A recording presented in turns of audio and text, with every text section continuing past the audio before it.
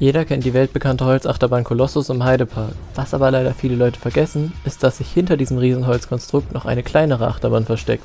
Desert Race ist Deutschlands erster Launchcoaster und heute werde ich erklären, warum ich finde, dass die Bahn sehr underrated wird. Seit 2007 haben sich Katapultachterbahnen in Deutschland ziemlich breit gemacht und neben Bahnen wie Taron, Fluch von Novgorod oder Karacho fällt Desert Race nun mal leider leicht unter den Tisch. Okay, offensichtlich sind Bahnen wie Fluch von Novgorod, Taron, Karacho und auch Fly besser als Desert Race. Aber was ich meine ist, Desert Race kriegt trotzdem nicht die gerechte Aufmerksamkeit, die sie verdient hätte.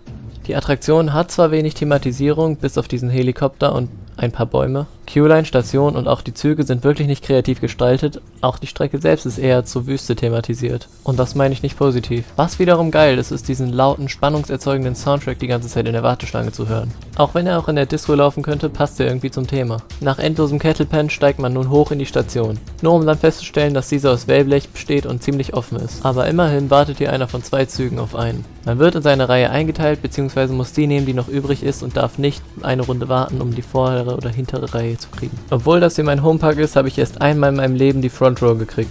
Man setzt sich in den ziemlich tief gelegenen alten Interminzug mit den Hard Over-the-Shoulder Restraints, lehnt den Kopf und den Rücken vollständig gegen die Rückenlehne und die Kopfstütze und schaut gerade nach vorne.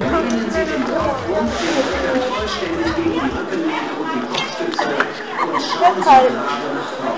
Voller Antizipation guckt man nach vorne auf den Launchtrack und auf die Ampel, die sich darüber befindet. Langsam hakt das klassische Hydraulik-Catchcar unten im Zug ein, der Zug fährt kurz nach hinten, dann wieder ein kleines Stück nach vorne und plötzlich wie aus dem Nichts schießt der Zug direkt aus der Station heraus. Diese paar Sekunden vor dem Launch, in dem man einfach nur da steht und darauf wartet, dass was passiert, kommen einem viel länger vor, als sie eigentlich sind. Es folgen ein Hydraulik-Launch, ein paar Kurven, ein bisschen rumgetwiste und der Brake-Run. Jetzt zu dem, was Desert Race für mich zur zweitbesten Achterbahn im ganzen Heidepark macht und warum sie so underrated ist. Fangen wir beim ersten Punkt an an, nämlich der Launch himself. Augenscheinlich der Sinn und Zweck dieser Bahn. Also 2018 sind wir in die Vereinigten Arabischen Emirate geflogen und ich bin tatsächlich die schnellste Achterbahn der Welt Formula Rossa gefahren. Die Bahnen sind relativ ähnlich, mal davon abgesehen, dass Formula Rossa verdammt riesig ist und verdammt schnell und verdammt groß. Ich persönlich finde Desert Race Launch immer noch besser und intensiver.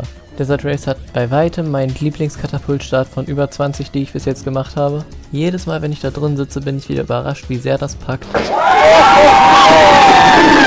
So intensiv dieser Launch und wirklich so, so, so gut. Die meisten Leute, mit denen ich gesprochen habe, sagen, ja, Desert Race besteht ja eh nur aus dem Launch, danach ist ja vorbei, also da kommt ja eh nichts mehr, ist ja Familie noch dabei. Seid ihr das Teil überhaupt gefahren? Das, das hier und selbst das sind für mich wirklich ernste Kandidaten für die stärkste Airtime im Park. Nicht beste oder meiste, aber stärkste.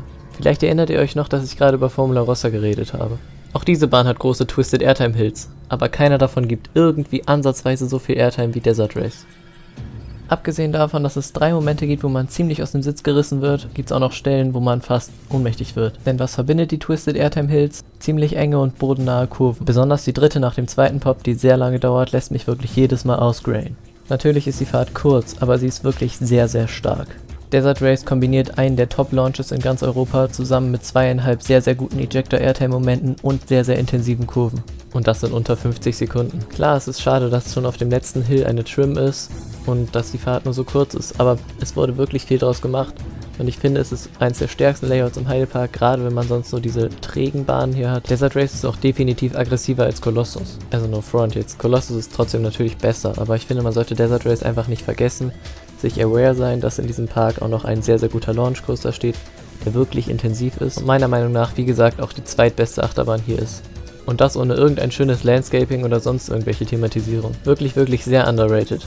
Es gibt vielleicht noch eine Sache, die sich lohnen würde anzusprechen, bevor man die Attraktion durch den Ausgang wieder runter verlässt. Die Rede ist vom Gepäcksystem. Man legt seine Sachen vor der Fahrt im Vorbeigehen in ein Fach, während man einsteigt dreht sich das und sobald man wieder aussteigt, kann man während dem Aussteigen aus dem Regal wieder aus seinem Fach seine Sachen mitnehmen. Ziemlich cool und gut gelöst. Hat nur einen Nachteil, nämlich wenn man Sachen bei sich trägt, kommt man garantiert nicht in die erste oder letzte Reihe, da alle möglichen kleinen nervigen Kinder sich immer vordrängeln und vorrennen. Öfters übrigens auch Erwachsene.